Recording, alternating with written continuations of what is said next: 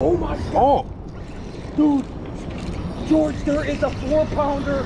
There's a four pounder down there, bro. I promise you. dude, Oh, I got something. this guy swallowed it like not even a hesitation. Look at that.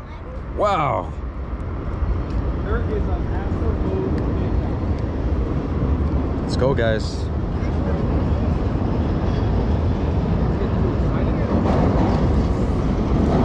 Gonna- We just we just finished up in this corner right here.